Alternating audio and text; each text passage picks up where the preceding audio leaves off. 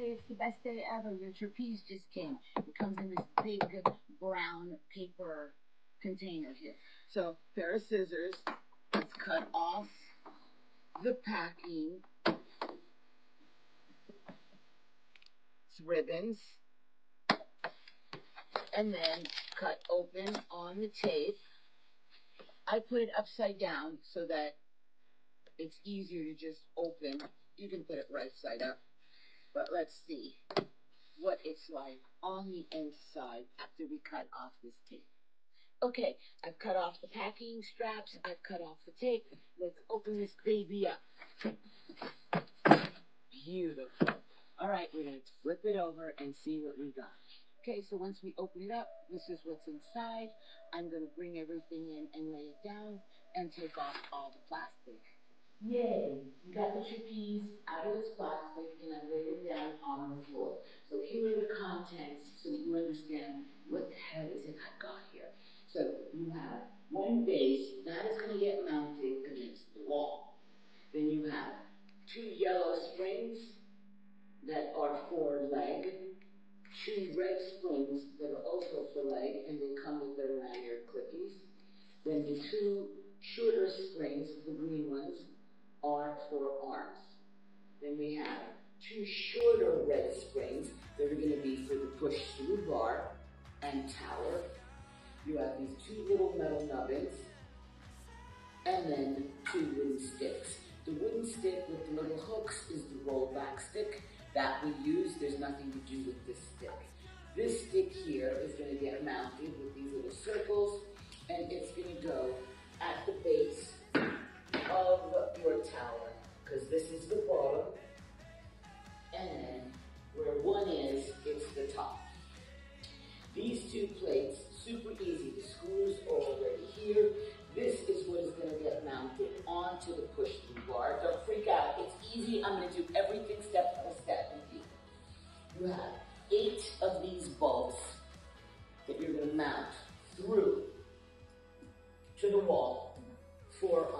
side.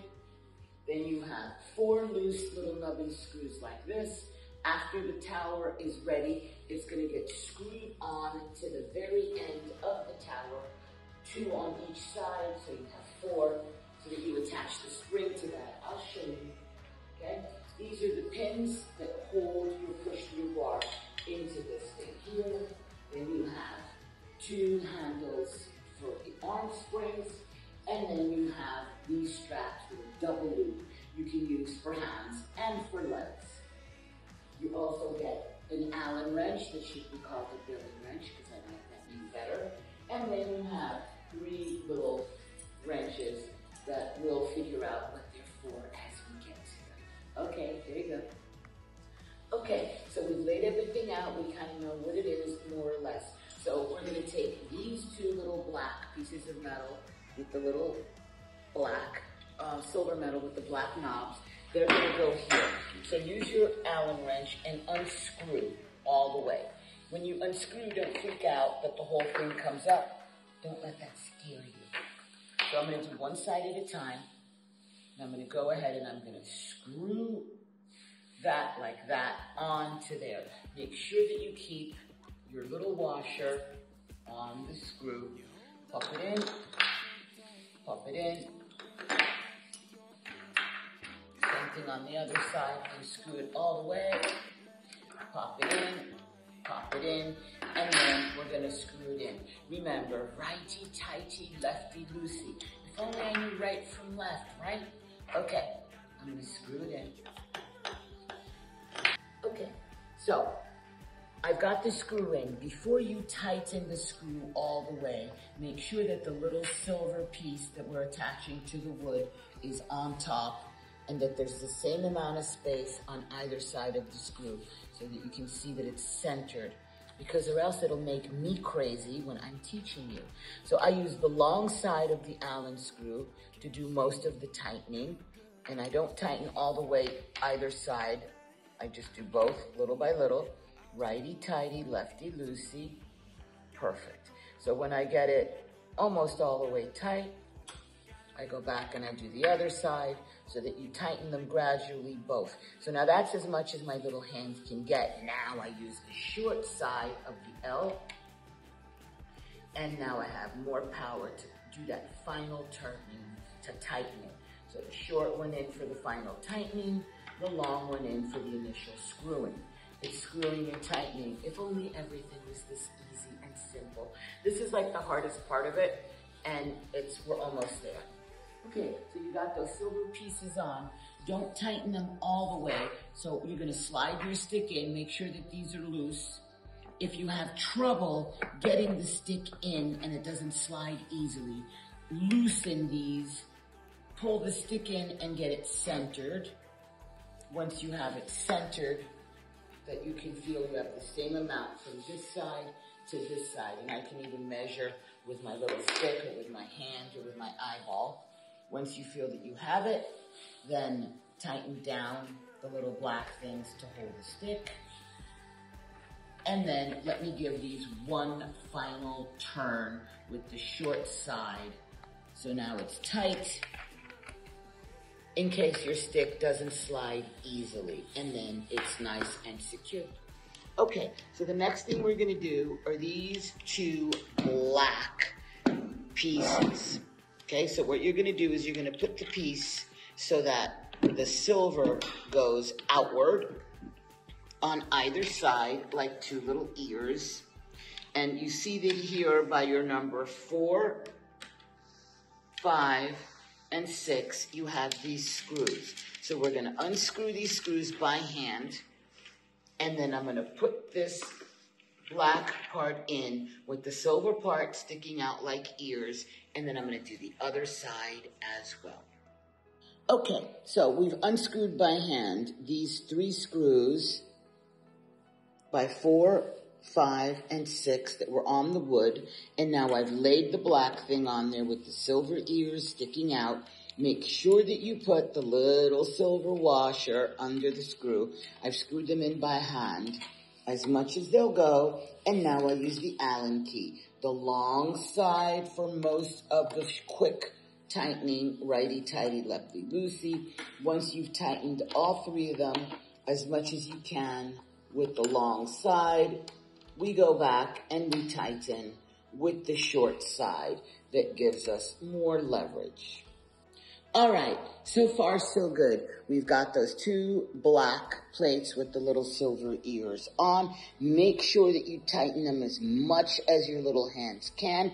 Remember that you stick the small part of the Allen key in and turn because it gives you better leverage, right? The little tiny part goes in and then you turn the giant stick part this way. You have more turning power. So now these little pins here, these little sticks with circles, and the push through bar are what mount on these two black parts. You have the option of installing the wood first before you mount the push through bar. So it's not that heavy. But just so that you see how it goes, there's my push through bar. I slide it and I'm gonna bring it inside. And let's say that you're gonna do the first setting. So with the push through bar, the higher you are, it's easier for when you're laying underneath with the spring loaded in what we call tower. The lower you load it, the easier it's going to be for the push through when you sit with the spring loaded on top. So if you're just average, let's just load the push through bar in the center, which is there are five nubbins. I would find the center one and you're just going to slide the push through bar and then these pins go through the silver part. There's a little circle on there that you can see that little silver piece moves. You just stick it through and then you'll stick it through the push through bar and it will just click right on in. I'm to line it up. And then if you push the pin, it slides right in and it clicks. So there I have my push through bar. I've loaded it in the center one and the pin is outside. You just push it and it clicks. You may have to jiggle a little bit to make sure that it goes through. And then if you want to change it, you just pull out the pin and adjust it. But I would just leave it in the middle setting for average people, and we don't really change that too much. All right, so I'm gonna take off my push through bar so I can load and mount this piece of wood on the wall. I'm gonna get my drill with my bit and just mount it on the wall. Here we go. And here is our beautiful Pilates tower that mounts on the wall. We've mounted it on the wall with the eight bolts that you can see are going through the wood into the wall with sinkers that I just drilled a hole for. So once I have it up, I've loaded my push through bar. As you see, the push through bar has settings one, two, three, four, and five right here. So this pin you can just find the setting that you want and lift up the bar wherever you want. Once you have it, the pin just goes in. There's one on each side. So as you notice, there are numbers from 1 all the way down to 10. Okay, so now my push-through bar is loaded. I have chosen to mount my tower above my baseboard. See, I have a little bit of space. So I know that my settings are going to be a little bit harder. So if I tell you, for instance, to load your spring at 7, if you're above your baseboard, you'll just bring it down to an 8. The height of the push-through bar is determined by how tall you are. So I find that that lowest setting for me is easy. So here's what you get along with your wall tower. All right, so here I've taken the safety strap and you have extra little clickies that they give you and I've clicked it to the very, very top inside row and the strap hangs down. I've taken the push-through bar and I've loaded the shorter red, red springs at number three. So let's say that you want to do the push through bar. You take the safety strap, which has a clicky on the other end, and I'll just click it out of the way. And now that strap is out of my way. You can even click it and make it shorter. So you just bring up your push through bar and you load that spring onto this edge. And so now your push through bar is loaded at the top with the spring. So there you see I've loaded one spring from number three to the push through bar.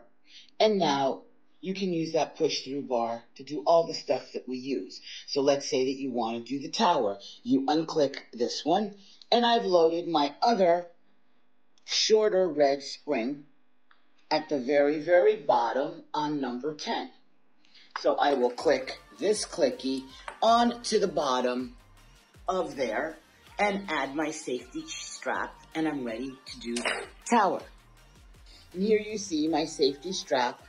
One hook is at the top, in the middle, and I've hooked it through one of these loops, nice and low so that I can get the full range. You can also hook this higher to a higher loop so that you can make this whatever height you want. At the bottom, I've hooked one of the red springs to number 10 and to the bottom of the bar. You have the option to use both springs, so you can load them both, which is fine. And then we're ready to do the tower. Excellent. I've done my push through bar, so I've tied it up with my safety strap to get it out of the way. And now I've loaded my arm springs on number six with my little handles. Remember, you can always use leg springs if you feel you want more and changing the height and backing yourself up away from the tower Cadillac wall unit makes it harder. So we have plenty of options and choices. All right, so I'm done with the tower. So I've taken both of the tower springs and I just load them high to get them out of my way. I've used my safety strap to tie the bar up so it's out of my way. I have my leg springs, the yellow ones I've decided to use, and I put them on number seven. So I have my foot straps that I can click on to the bottom if I want, or if I choose, I have my wooden stick with the clickies that I can click on to my leg springs. And voila, I've just hung a little curtain over my tower and I'm going to put my table there or my chair and have a phenomenal day because my priority is taking care of myself and real Pilates is going to keep you fit and happy forever. See you in class.